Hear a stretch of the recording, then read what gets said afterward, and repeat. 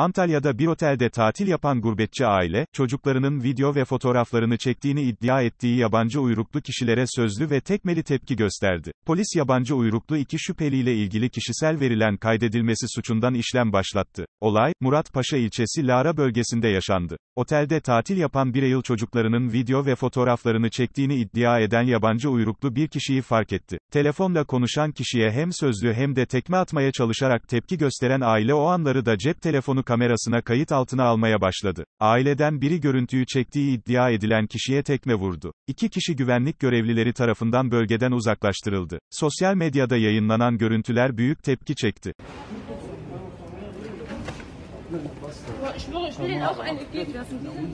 Pädophile sind das.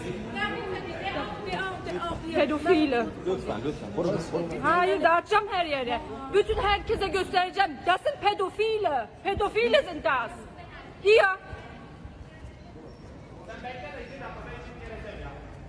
Pädophile. Die machen Otel yönetimi tarafından sosyal medyadaki görüntülerin altına yapılan yorumda, şirket prensibi gereği en hassas olduğumuz, çocuklar konusunda tarafımızca asla taviz verilmemiş ve ivedilikle tesis dışı edilmişlerdir. Haklarında Aksu İlçe Emniyet Müdürlüğü'ne şikayette bulunulmuştur. Takibi de bizzat tarafımızca ve avukatlarımızca yapılacaktı denildi. Olayın ardından otele gelen Aksu İlçe Emniyet Müdürlüğü ekipleri şikayetçi olan 3 ailenin ifadelerini aldı ve şüpheli 2 kişi hakkında kişisel verilerin kaydedilmesi suçundan işlem başlattı.